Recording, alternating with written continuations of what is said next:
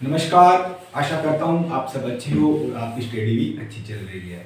तो उम्मीद करता हूँ आपको जो हमने साइंस की सीरीज़ स्टार्ट की है, जनरल साइंस की, फिजिक्स जो अभी हम पढ़ रहे हैं तो आपको पसंद आ रही होगी। तो ज़्यादा से ज़्यादा वीडियो अपने फ्रेंड सर्किल में शेयर करें, वीडियो को पूरा देखने की कोशिश करें। जो भी स्टूडेंट है स्कूल वाले कॉलेज वाले कंपटीशन एग्ज़ाम वाले नाइन्थ वाले टेंथ वाले इलेवेंथ ट्वेल्थ या किसी कंपटीशन एग्ज़ाम की प्रिपरेशन कर रहे हैं या बेसिक जो कैंडिडेट रेलवे की प्रिपरेशन कर रहे हैं, उन कैंडिडेट के लिए बहुत फ़ायदेमंद होने वाली सीरीज़ है। तो आप अपना प्यार बनाए रखें मेरे साथ और ज़्यादा से ज़्यादा कमेंट करें। इससे मुझे मोटिवेशन मिले कि हाँ आपको कंटेंट पसंद आ रहा है तो मैं आपको और बेहतरीन तरीके से पढ़ाने की कोशिश करूँगा कि हाँ मुझे लगेगा कि आपको इस चीज़ की रिक्वायरमेंट है, ये टॉपिक कराना चाहिए। तो वो आप मुझे बताते रहे। सर्दियाँ बहुत ज़्यादा बढ़ गई है तो अपने स्वास्थ्य का विशेष ध्यान रखें, सर्दी से बच के रहें। रात में जितना हो सके उतना पढ़ें, क्योंकि दिन तो छोटे हो रहे हैं, रात बड़ी है सर्दियों में तो रजाई के अंदर बैठे रहें, कुछ खाते पीते रहें, मूंगफली वगैरह, मकर संक्रांति चल रही है तो इसको आपको, सबको मकर संक्रांति की बहुत बहुत शुभकामनाएँ। तो आज का हम टॉपिक स्टार्ट करते हैं कि कल हम कौन सा टॉपिक कर रहे थे फिजिक्स के अंदर? रेस्ट एंड मोशन गति और विराम जो हमने देखा था कि कोई वस्तु किसी दूसरी वस्तु के सापेक्ष किसी समय के अंतराल अपनी स्थिति को या अपनी पोजिशन को चेंज कर रही है। तो वो क्या है? गति है। और जो उसकी दूसरी वस्तु के सापेक्ष क्या, स्थिर है उसी जगह। तो वो क्या है? रेस्ट में है, विराम अवस्था में है। तो यही हमने पढ़ी, फिर हमने क्या देखा? दूरी क्या होती है? डिस्टेंस उसके बाद क्या देखा? विस्थापन देखा, चाल देखा वेलोसिटी देखी, वेग देखा। आज हम क्या देखने वाले औस्त चाल। औस्त चाल क्या होता है? उस चाल से जैसे आप समझते हो, क्या होता है? एवरेज स्पीड क्या होती है। उस साल या बोले तो? Average average speed. क्या होता है?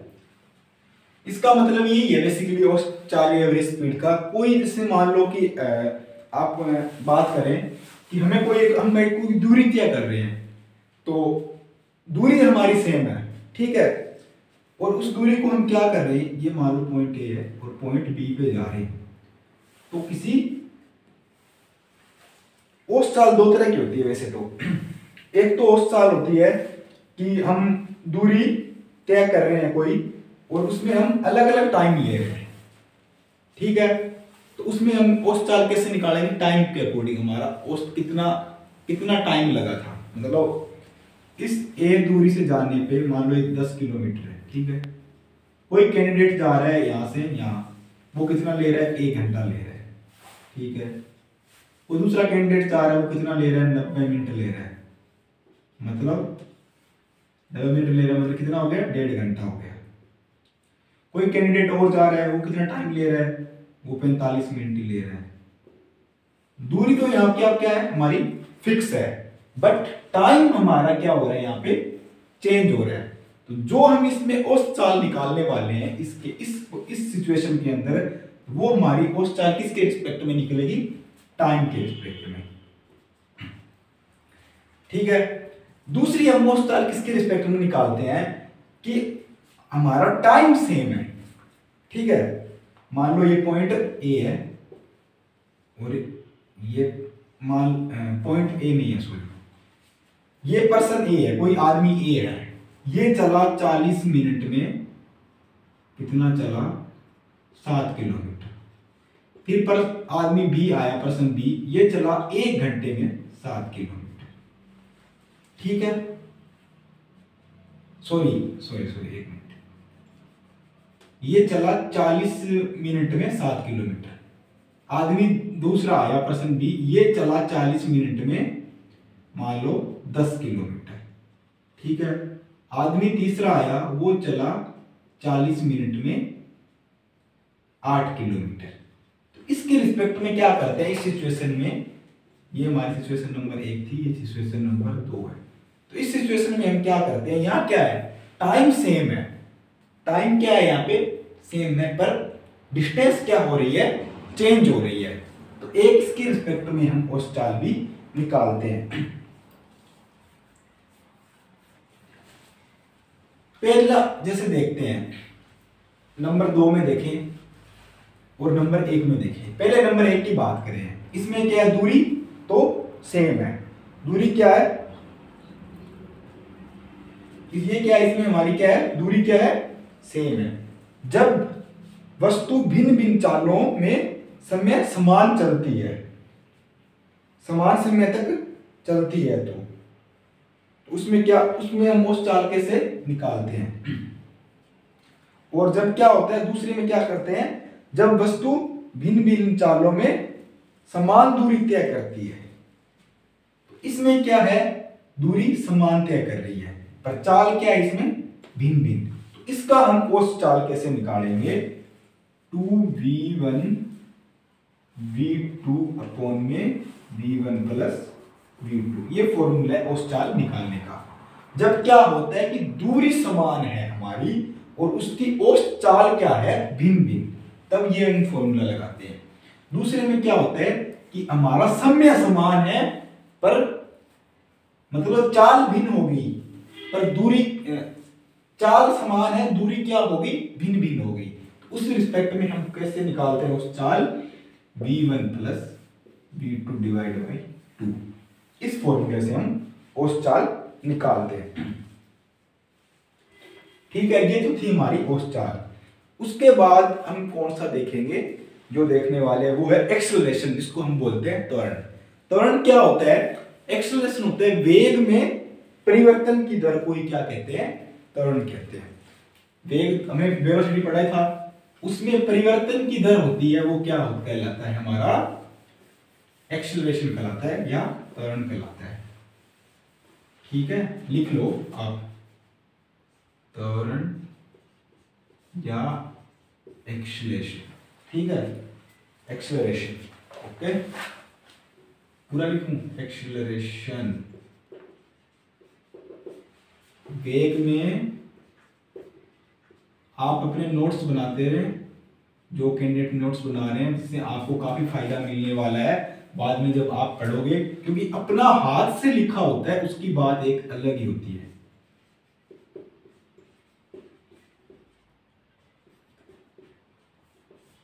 जब आप खुद हाथ से लिखते हो तो उसकी एक बात अलग ही होती है, क्योंकि आपको अच्छा समझ आता है।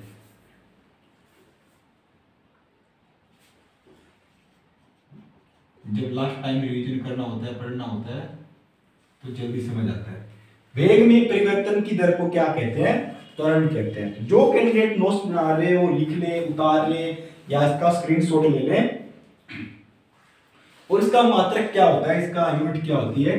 मीटर अपॉन में सेकंड स्क्वायर मीटर अपॉन में सेकंड स्क्वायर तो अब आपने हमारा एक्सेलरेशन होता है ना, जो वेग होता है, वो क्या है? धनात्मक भी हो सकता है, ऋणात्मक भी हो सकता है मतलब पॉजिटिव भी हो सकता है और नेगेटिव भी हो सकता है। बट वो डिपेंड किसमें करता है? डिपेंड ये करता है कि कोई वस्तु, यदि किसी वस्तु का वेग परिणाम के समय के साथ साथ बढ़ रहा है, किसी वस्तु का जो वेग है, वो का परिणाम के समय के साथ साथ क्या है? बढ़ रहा है। तो तो वो क्या होगा? पॉजिटिव होगा। और किसी वस्तु का वेग परिणाम के समय के साथ साथ घट रहा है, तब हम वो हमारा एक्सेलरेशन क्या होगा? नेगेटिव होगा। तो ये तो हमारा गति एंड मोशन के था। अब हम इसमें क्या देखेंगे, जो बात करने वाले हैं, वो न्यूटन के जो गति के तीन नियम है ना, वो देखेंगे। उससे पहले मैं आपको छोटी सी चीज़ और बता दूँ। इसका भी क्वेश्चन बहुत बार आ जाता है। उडियन काल क्या होता है? इसको हम बोलते हैं फ़्लाइट टाइम है ना? उडियन काल फ़्लाइट टाइम होता है। उडियन काल होता है, जिसको हम बोलते हैं। उडियन काल होता है, ठीक है? उडियन काल या फ़्लाइट टाइम। इसका भी क्वेश्चन आता है। फ़्लाइट टाइम क्या होता है? उड़न काल या फ़्लाइट टाइम क्या होता है? किसी वस्तु को हम पृथ्वी के ऊपर फेंकने कोई मतलब कोई चीज़ है। जैसे मान लो गेंद है।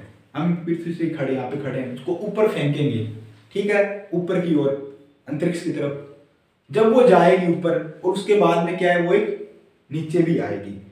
तो वो जिस एंगल से जा रही है, और जितना टाइम ले रही है जाने और आने में, ठीक है? जाने और आने में, उसके बीच में जो टाइम लगता है ना, उसे कोई क्या बोलते हैं? उड़ियन काल बोलते हैं। उसको क्या बोलते हैं उड़ियन काल बोलते हैं। मतलब कोई पिंड है या कोई चीज़ है, जैसे हम गेंद फेंकते ऊपर की ओर, वो जा रही है, ऊपर जाएगी, फिर वापस क्या है? वो नीचे आएगी।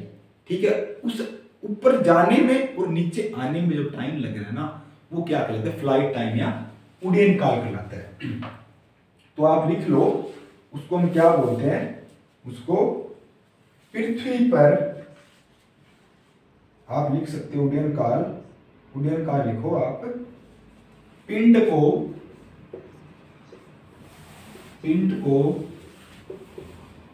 फेंकने, पिंड को फेंकने तथा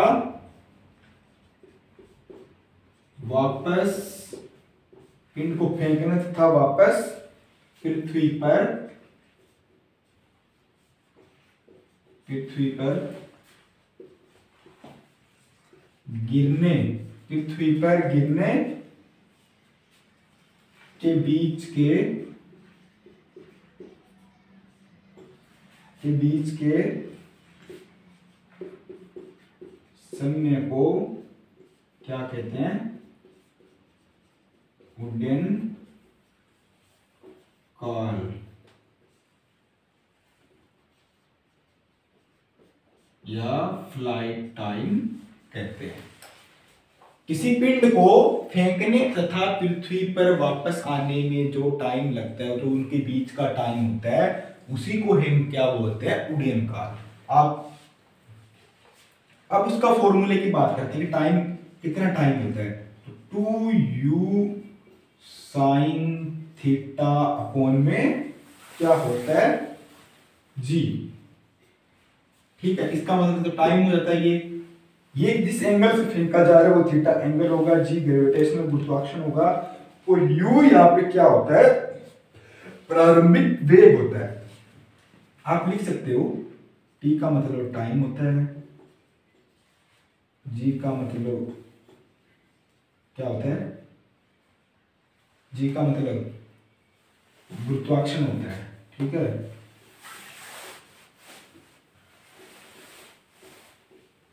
गुरुत्वाकर्षण होता है।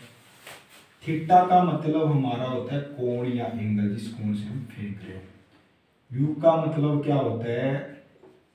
प्रारंभिक प्रारंभिक वेग होता है। इनिशियल इनिशियल वेलोसिटी होता है। ठीक है? तो ये हमारा उड्डयन काल होता है फ़्लाइट टाइम तो लिख लो या स्क्रीनशॉट ले लो। आप जैसे मान लो ये होता है। ठीक है? इस, ऐसे कोई वस्तु ऊपर की ओर फेंकी जा रही है, ठीक है? तो ये हमारा क्या होता है? साइन थीटा होता है, यू साइन थीटा वाला ये। और इसमें जो हमारा नीचे वापस आएगा तो क्या? ग्रेड क्या लगेगा? गुरुत्वाकर्षण लगेगा, ठीक है? तो नीचे वापिस हो आएगा। क्योंकि ये कोई हाइट पे फेंका जाएगा ना, ऊपर जाएगी तो कोई हाइट तो होगी, फिर उससे नीचे भी तो आएगा ये क्या? गुरुत्वाकर्षण लगेगा। और ये हमारा यू साइन थीटा होता है, ये हमारा क्या होता है? यू कोस थीटा होता है। और ये कोई एंगल थीटा से फेंका जा रहा है ऊपर। ठीक है? ये ये होता है। तो ये ऐसे बेसिकली एक डायग्राम है इसको समझने का। आप आसानी से समझ सकते हो। बट आप इसका फॉर्मूला ये याद रखें। ये कई बार पूछ लिया जाता है। क्वेश्चन में एक नंबर का एग्ज़ाम के अंदर उड़न काल या फ़्लाइट टाइम का फॉर्मूला क्या आता है? कौन सा है? तो इस तरह से फॉर्मूला दे देता है। एक ये फॉर्मूला दे दिया। एक मान लो ऐसे दे देगा यू कोस थीटा बटा जी दे देगा। दे देगा टू साइन थीटा बटा जी दे देगा। या इनमें से कोई नहीं दे देगा मनन दे देगा। और बोलेगा कि उडियन काल या फ़्लाइट टाइम का फॉर्मूला क्या होता है?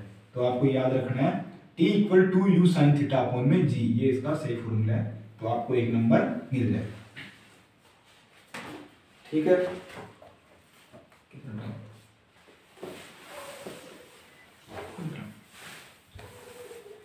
तो ये हमारे रेस्ट एंड मोशन के जो मेन मेन पार्ट थे उडियन काल स्पीड टाइम ये हमने क्या है? देख लिए।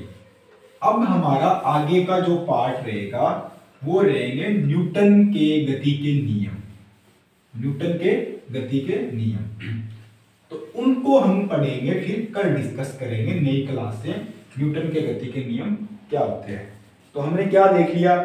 रेस्ट एंड मोशन में हमने स्पीड डिस्टेंस मतलब चाल, दूरी एक्सलेशन मतलब अपना टर्न देख लिया वेलोसिटी रेट देख लिया एवरेज स्पीड देख लिया फ़्लाइट टाइम देख लिया।